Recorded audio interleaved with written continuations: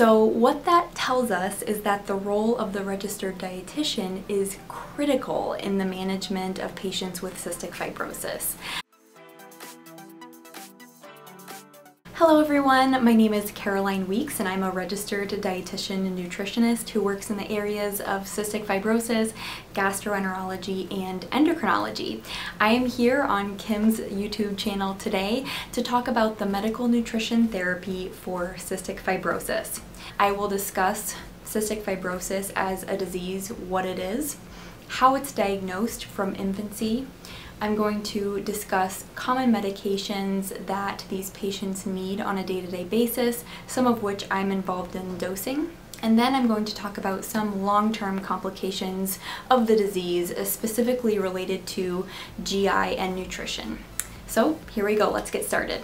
Cystic fibrosis is an autosomal recessive genetic disease of the lung, but particularly it's a genetic mutation of the CFTR protein, or the cystic fibrosis transmembrane conductance regulator protein. And what this protein is involved in is it's basically expressed in every tissue in the body. So think lungs, pancreas, GI tract, other organs. These patients excrete sodium through their skin, salt much more readily.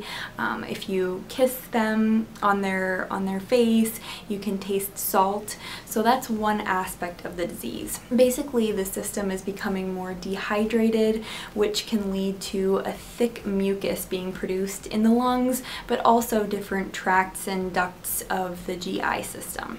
So CF is first diagnosed now on a newborn screen. Now there have been recent and huge, I might add, advancements in the pharmacological management of cystic fibrosis. Originally, this was thought to be a pediatric disease. However, because of the work that's been done on the pharmaceutical side of things, the mean life expectancy for a patient with CF is now 47 years of age, which is huge. The CF Foundation puts out an annual report and there is a plethora of research linking optimal BMI and improved BMI with overall lung function as measured by FEV1% predicted.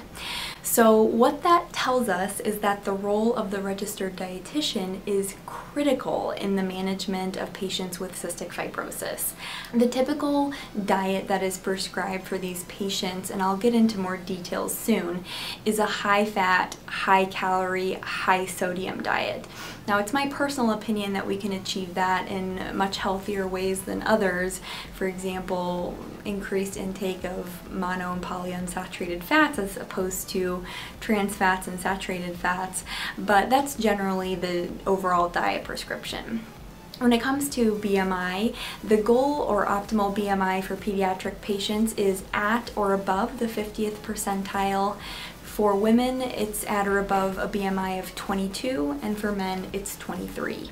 Now that being said, energy requirements for those with cystic fibrosis are generally 1.5 to 2 times the DRI and protein requirements are about 1.5 to 2 times the DRI as well. So that being said, it can be very difficult to get adequate calories by mouth. So oftentimes my patients have a gastrostomy tube in place and I'm involved in the management of G-tube regimens.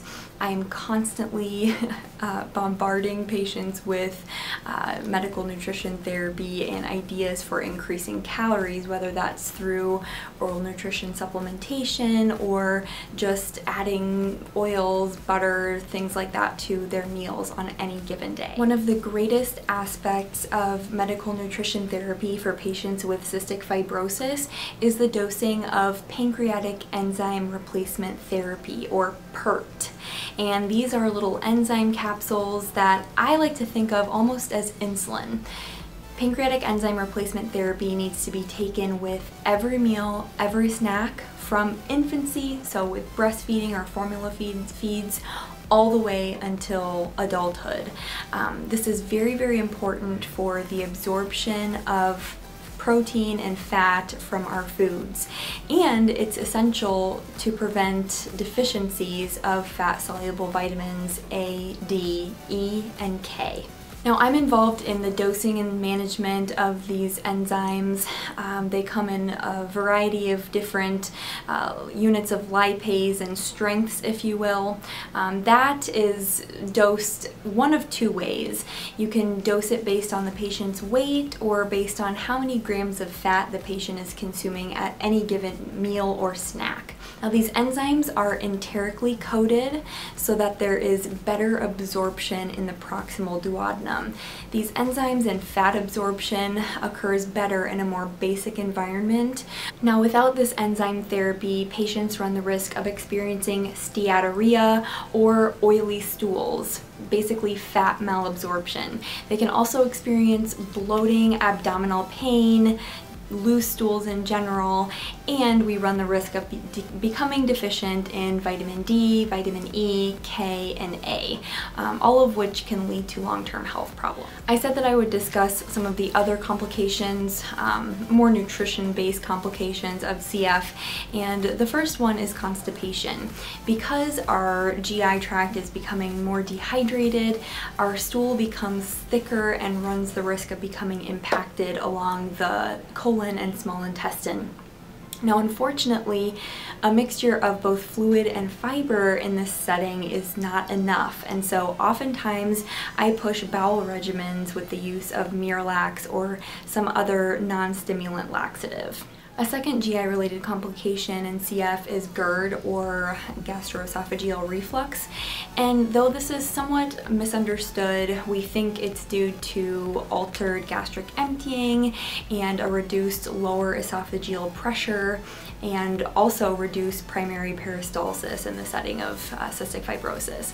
Also for normal patients, typically high fat, fried food diets can cause reflux, so we think there could be a link between that as well.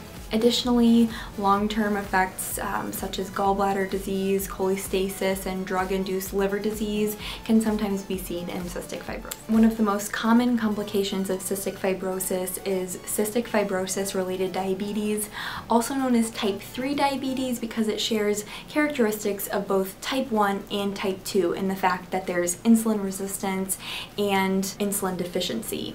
In our patients' annual labs and screens, we make sure they get an oral glucose tolerance test, in addition to other screening factors such as vitamins and minerals and pancreatic function tests. A final complication that can occur in cystic fibrosis are skeletal complications, mainly being osteoporosis.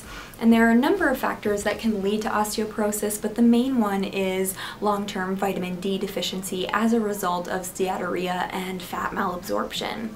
Other factors include overall poor nutritional status, circulating pro-inflammatory cytokines, respiratory acidosis, and overall physical inactivity. A DEXA scan is also included in our patients' overall um, labs that we get. Um, usually this happens when they are adults to begin with. Um, but my role as a dietitian with the dosing of the pancreatic enzymes is something that is very critical to preventing this long-term complication from happening. So in a nutshell, the role of the registered dietitian in CF is very, very critical to their overall health. I'm involved in teaching uh, patients how to increase overall calories in their diet, ensure that they are well hydrated through adequate fluids, and addition of adequate salt in their diet because they excrete salt more readily through their membranes. I'm involved in overall reflux therapy um, and uh, dealing with kind of picky eating behaviors and things in school-age children. Um, sometimes I work directly with my GI provider to dose appetite stimulants such as cyproheptadine in young kids uh, because they need an extra boost to just overall eat enough. So I feel blessed and uh, very lucky to be working in this uh, specialty area.